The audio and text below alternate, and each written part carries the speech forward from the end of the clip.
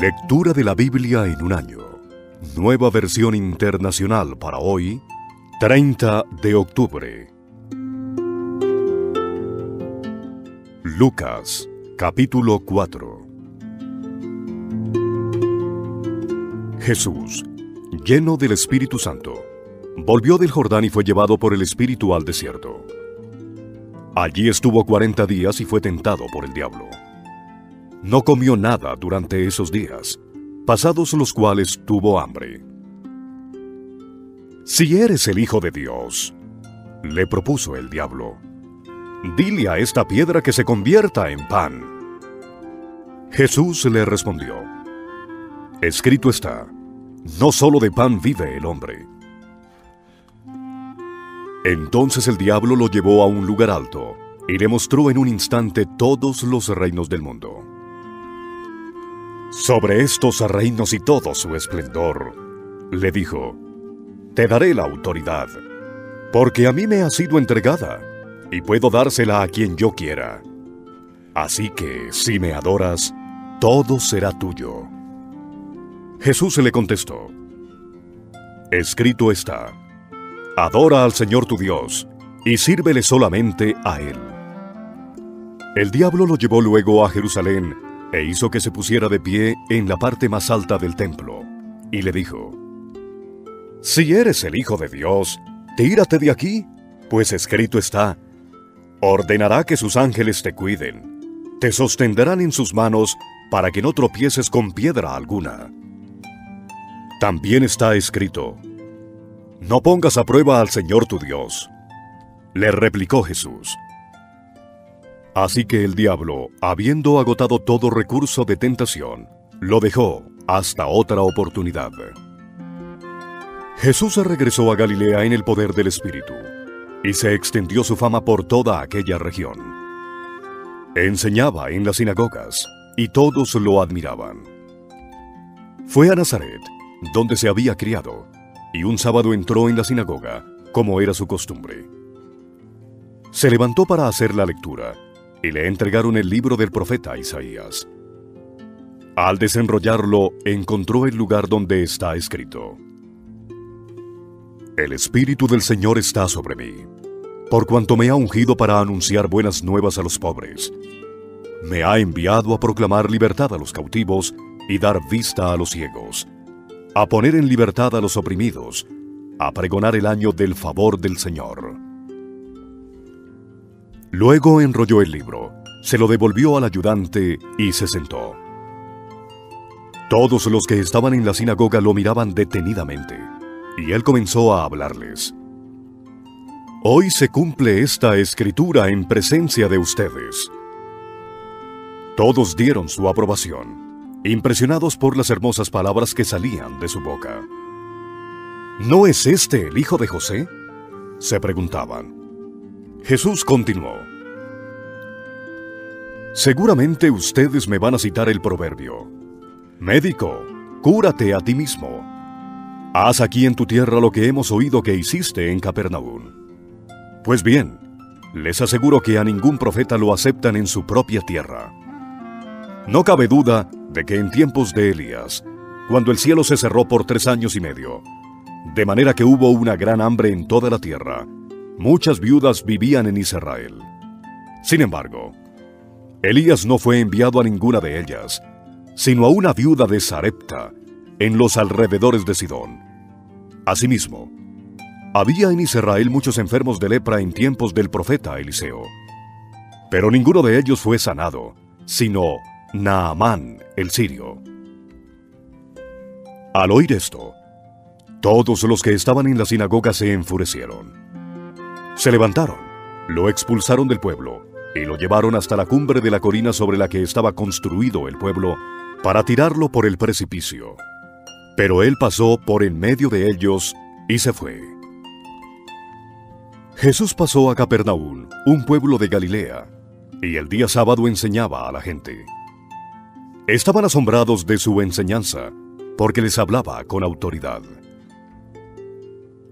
Había en la sinagoga un hombre que estaba poseído por un espíritu maligno, quien gritó con todas sus fuerzas, ¡Ah! ¿Por qué te entrometes, Jesús de Nazaret?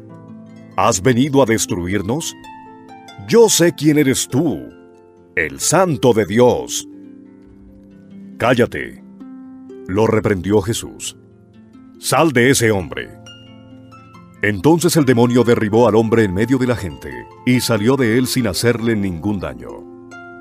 Todos se asustaron y se decían unos a otros, ¿Qué clase de palabra es esta? Con autoridad y poder les da órdenes a los espíritus malignos y salen. Y se extendió su fama por todo aquel lugar. Cuando Jesús salió de la sinagoga, se fue a casa de Simón, cuya suegra estaba enferma con una fiebre muy alta. Le pidieron a Jesús que la ayudara, así que se inclinó sobre ella y reprendió a la fiebre la cual se le quitó. Ella se levantó enseguida y se puso a servirles. Al ponerse el sol, la gente le llevó a Jesús todos los que padecían de diversas enfermedades. Él puso las manos sobre cada uno de ellos y los sanó. Además, de muchas personas salían demonios que gritaban, Tú eres el Hijo de Dios. Pero él los reprendía y no los dejaba hablar porque sabían que él era el Cristo. Cuando amaneció, Jesús salió y se fue a un lugar solitario. La gente andaba buscándolo, y cuando llegaron a donde él estaba, procuraban detenerlo para que no se fuera. Pero él les dijo, Es preciso que anuncie también a los demás pueblos las buenas nuevas del reino de Dios, porque para esto fui enviado. Y siguió predicando en las sinagogas de los judíos. Lucas capítulo 5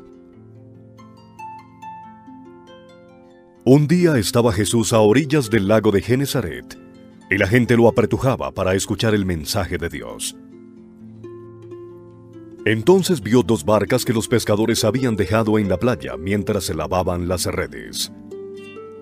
Subió a una de las barcas, que pertenecía a Simón, y le pidió que la alejara un poco de la orilla. Luego se sentó y enseñaba a la gente desde la barca. Cuando acabó de hablar, le dijo a Simón, Lleva la barca hacia aguas más profundas y echen allí las redes para pescar. Maestro, hemos estado trabajando duro toda la noche y no hemos pescado nada, le contestó Simón. Pero como tú me lo mandas, echaré las redes. Así lo hicieron y recogieron una cantidad tan grande de peces que las redes se les rompían. Entonces llamaron por señas a sus compañeros de la otra barca para que los ayudaran. Ellos se acercaron y llenaron tanto las dos barcas que comenzaron a hundirse. Al ver esto, Simón Pedro cayó de rodillas delante de Jesús y le dijo, Apártate de mí, Señor, soy un pecador. Es que él y todos sus compañeros estaban asombrados ante la pesca que habían hecho, como también lo estaban Jacobo y Juan, hijos de Zebedeo, que eran socios de Simón. No temas, desde ahora serás pescador de hombres, le dijo Jesús a Simón. Así que llevaron las barcas a tierra, y dejándolo todo, siguieron a Jesús. En otra ocasión, cuando Jesús estaba en un pueblo, se presentó un hombre cubierto de lepra. Al ver a Jesús, cayó rostro en tierra y le suplicó, Señor, si quieres puedes limpiarme. Jesús extendió la mano y tocó al hombre. Sí quiero, le dijo, queda limpio. Y al instante se le quitó la lepra. No se lo digas a nadie le ordenó Jesús, solo ve, preséntate al sacerdote y lleva por tu purificación lo que ordenó Moisés, para que sirva de testimonio. Sin embargo, la fama de Jesús se extendía cada vez más, de modo que acudían a él multitudes para oírlo y para que lo sanara de sus enfermedades. Él, por su parte, solía retirarse a lugares solitarios para orar. Un día, mientras enseñaba, Estaban sentados allí algunos fariseos y maestros de la ley que habían venido de todas las aldeas de Galilea y Judea, y también de Jerusalén. Y el poder del Señor estaba con él para sanar a los enfermos. Entonces llegaron unos hombres que llevaban en una camilla a un paralítico. Procuraron entrar para ponerlo delante de Jesús, pero no pudieron a causa de la multitud. Así que subieron a la azotea, y separando las tejas, lo bajaron en la camilla hasta ponerlo en medio de la gente, frente a Jesús. Al ver la fe de ellos, Jesús dijo, Amigo, tus pecados quedan perdonados. Los fariseos y los maestros de la ley comenzaron a pensar, ¿quién es este que dice blasfemias? ¿Quién puede perdonar pecados sino solo Dios? Pero Jesús supo lo que estaban pensando y les dijo, ¿Por qué razonan así? ¿Qué es más fácil decir? ¿Tus pecados quedan perdonados? ¿O levántate y anda? Pues para que sepan que el Hijo del Hombre tiene autoridad en la tierra para perdonar pecados. Se dirigió entonces al paralítico. A ti te digo, levántate, toma tu camilla y vete a tu casa. Al instante se levantó a la vista de todos, tomó la camilla en que había estado acostado y se fue a su casa alabando a Dios. Todos quedaron asombrados y ellos también alababan a Dios. Estaban llenos de temor y decían, Hoy hemos visto maravillas. Después de esto salió Jesús y se fijó en un recaudador de impuestos llamado Leví, sentado a la mesa donde cobraba. Sígueme, le dijo Jesús. Y Leví se levantó lo dejó todo y lo siguió. Luego Leví le ofreció a Jesús un gran banquete en su casa, y había allí un grupo numeroso de recaudadores de impuestos y otras personas que estaban comiendo con ellos. Pero los fariseos y los maestros de la ley que eran de la misma secta les reclamaban a los discípulos de Jesús. ¿Por qué comen y beben ustedes con recaudadores de impuestos y pecadores? No son los sanos los que necesitan médico, sino los enfermos. Les contestó Jesús, No he venido a llamar a justos, sino a pecadores para que se arrepientan. Algunos dijeron a Jesús, Los discípulos de Juan ayunan y oran con frecuencia, lo mismo que los discípulos de los fariseos, pero los tuyos se la pasan comiendo y bebiendo. Jesús les replicó, ¿Acaso pueden obligar a los invitados del novio a que ayunen mientras él está con ellos? Llegará el día en que se les quitará el novio. En aquellos días sí ayunarán. Les contó esta parábola. Nadie quita un retazo de un vestido nuevo para remendar un vestido viejo. De hacerlo así, habrá rasgado el vestido nuevo, y el retazo nuevo no hará juego con el vestido viejo ni echa nadie vino nuevo en odres viejos. De hacerlo así, el vino nuevo hará reventar los odres, se derramará el vino y los odres se arruinarán. Más bien, el vino nuevo debe echarse en odres nuevos. Y nadie que haya bebido vino añejo quiere el nuevo, porque dice, el añejo es mejor. Lucas capítulo 6 Un sábado, al pasar Jesús por los sembrados, sus discípulos se pusieron a arrancar unas espigas de trigo y las desgranaban para comérselas. Por eso algunos de los fariseos les dijeron, ¿Por qué hacen ustedes lo que está prohibido hacer en sábado? Jesús les contestó, ¿Nunca han leído lo que hizo David en aquella ocasión en el que él y sus compañeros tuvieron hambre? entró en la casa de Dios y, tomando los panes consagrados a Dios, comió lo que solo a los sacerdotes se les es permitido comer, y les dio también a sus compañeros. Entonces añadió, El Hijo del Hombre es Señor del sábado. Otro sábado entró en la sinagoga y comenzó a enseñar. Había allí un hombre que tenía la mano derecha paralizada.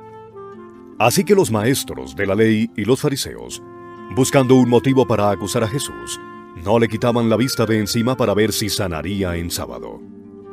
Pero Jesús, que sabía lo que estaban pensando, le dijo al hombre de la mano paralizada, Levántate y ponte frente a todos.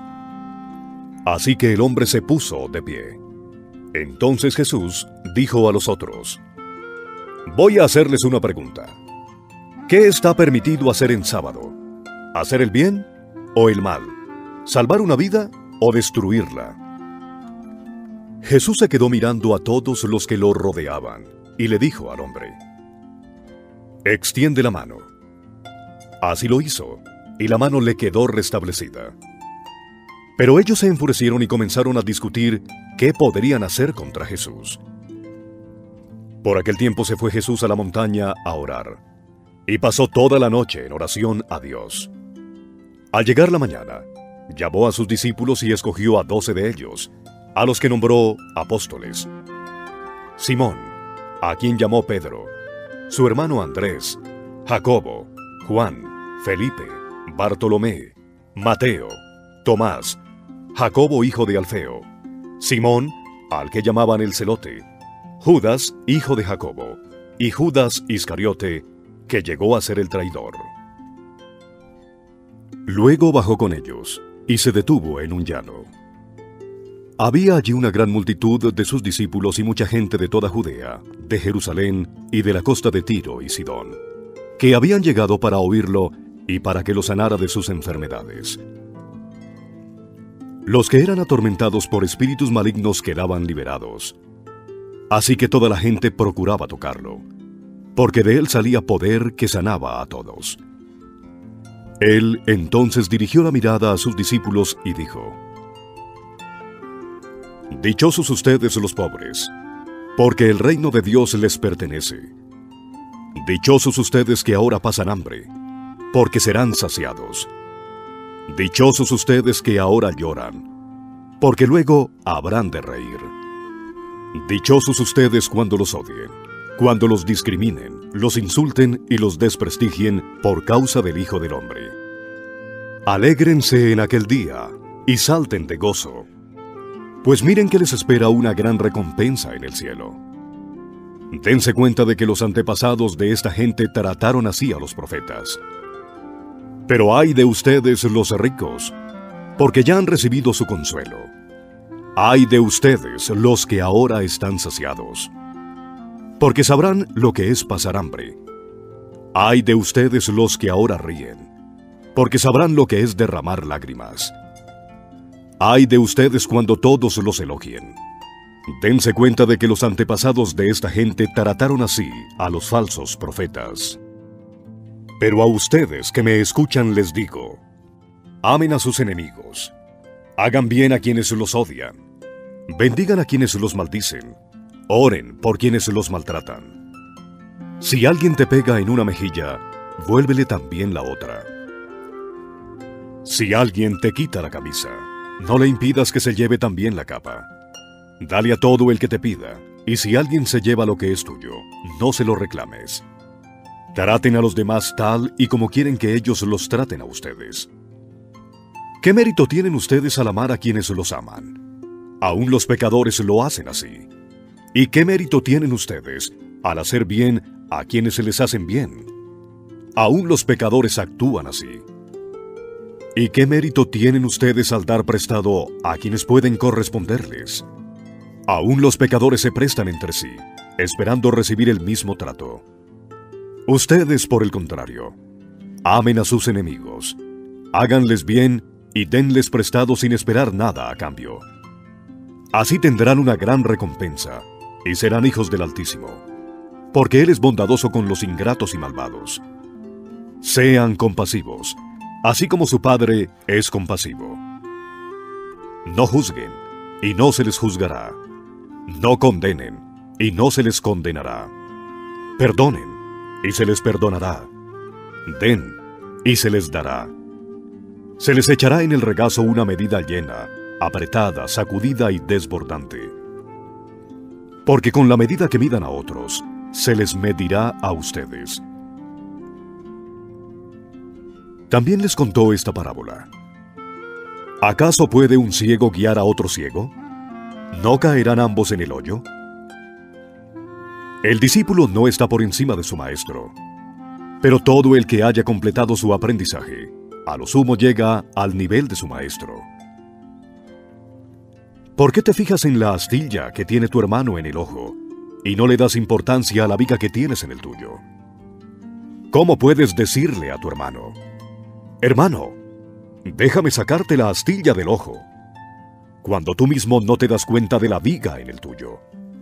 Hipócrita, saca primero la viga de tu propio ojo, y entonces verás con claridad para sacar la astilla del ojo de tu hermano. Ningún árbol bueno da fruto malo. Tampoco da buen fruto el árbol malo. A cada árbol se le reconoce por su propio fruto. No se recogen higos de los espinos, ni se cosechan uvas de las zarzas. El que es bueno, de la bondad que atesora en el corazón produce el bien. Pero el que es malo, de su maldad produce el mal, porque de lo que abunda en el corazón habla la boca. ¿Por qué me llaman ustedes Señor, Señor, y no hacen lo que les digo? Voy a decirles a quién se parece todo el que viene a mí y oye mis palabras y las pone en práctica. Se parece a un hombre que, al construir una casa, cavó bien hondo y puso el cimiento sobre la roca. De manera que cuando vino una inundación, el torrente azotó aquella casa, pero no pudo ni siquiera hacerla tambalear porque estaba bien construida. Pero el que oye mis palabras y no las pone en práctica, se parece a un hombre que construyó una casa sobre tierra y sin cimientos. Tan pronto como la azotó el torrente, la casa se derrumbó y el desastre fue terrible.